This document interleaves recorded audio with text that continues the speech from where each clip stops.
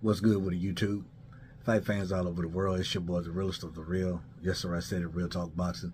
It is a privilege and honor and a major blessing to be back with you beautiful people yet again. We're going to continue to push out content no matter what.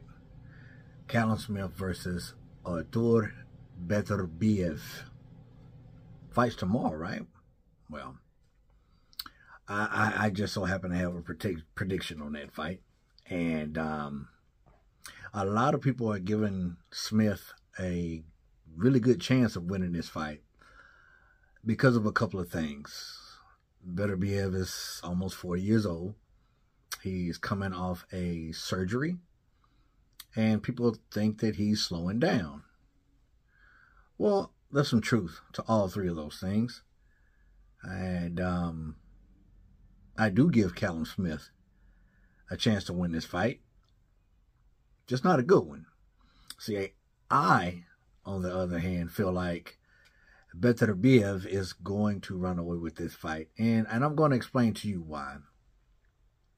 First off, let's talk about Smith. And of course, I got to talk about the Canelo fight.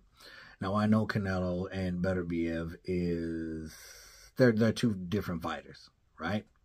But here's how the fight went when Canelo fought Smith. First of all, Smith is 6'3", and they were very generous on the night of the fight when he fought Smith with Canelo, stating that he was 5'9". I don't think Canelo's 5'9". They were being generous. So he had a heck of a reach advantage and a height advantage. I'm talking about by a wide margin. But he failed to use that. He didn't fight tall. He didn't use his reach. He didn't gauge his distance. He was on his back foot the whole night. The whole night. Canelo pressured him in a very intelligent way. It wasn't just bull rushing in and mauling his way in. He was very strategic.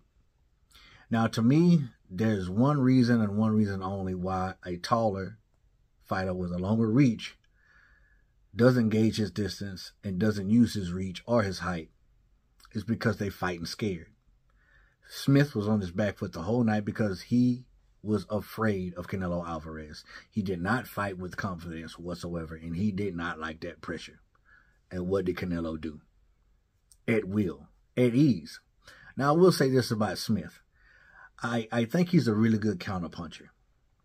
And he looks a lot bigger and a lot stronger at light heavyweight. Of course, he's supposed to. But I don't think that's going to change his mentality when it versus um, when he's faced with a fighter who's very aggressive. Because to me, he just gave up in the Canelo fight, just shut down.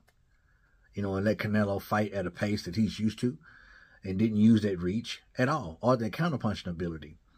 Uh, Smith is not a horrible fighter. Don't get me wrong. I mean, he was he was champion for a reason. Nice jab, nice counterpunching. Um, ability to fight really, really decent on the inside to be a long, rangy fighter. But when it comes to pressure, he folds, in my honest opinion. So now let's get to Beterbiev. Y'all like that accent? um, he's also an aggressive fighter. Um, but is this is it the same type of aggression as Canelo Alvarez?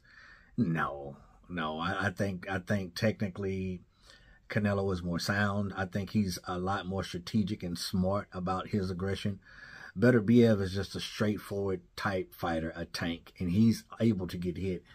You know, watching this fight against Yarde, Yarde was able to tag him a quite a bit coming in, and I think Callum Smith will be able to do the same thing, tag him a couple of times coming in, but I think he's going to be so busy on the back foot that those punches aren't going to mean anything. Now, it doesn't go to say that um, Beterbiev can't run into anything that he doesn't see is very possible. But I think the sheer pressure, the power, the strength and the power punches, and the straightforward uh, aggression style that Beterbiev has is going to have Smith in the same type of mode that he was in against Canelo Alvarez. Even though Canelo was a lot smarter and I think a lot more technical than Beterbiev, Beterbiev is just strong and he has a will of iron, and he's not going to stop coming forward. And and I think as soon as Smith tastes Beterbiev's power, I think he's going to shut down and fold just like he did against Canelo Alvarez. And I think it could possibly be a worse beating um, he'll take from Better Beterbiev than Canelo because Better Beterbiev is taller, stronger, um, and hits hard. Hits very hard, but he is susceptible to getting hit. Um, a lot of people think, including uh, Eddie Hearn, says he's going to knock Better Beterbiev spark out. Says that Callum Smith is going to knock Better Beterbiev out. Now, we all know it's boxing and it's possible.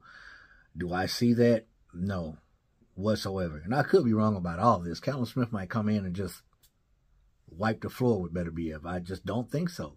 You know, I don't think the age and, and the surgery is going to play a huge factor in this fight. Uh, it may, but I just don't think it will. I believe Callum Smith is going to fold just like he did against Canelo Alvarez, especially facing a fist fighter like Better Beterbiev. That is my opinion, my take, my prediction on the fight.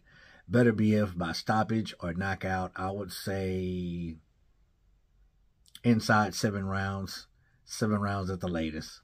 What's your opinion? Comment down below. Let your boy Real Talk know. As always, respect all, fear none. God bless. The next time, Real Talk Boxing. I'm up and I'm out of here. Bang.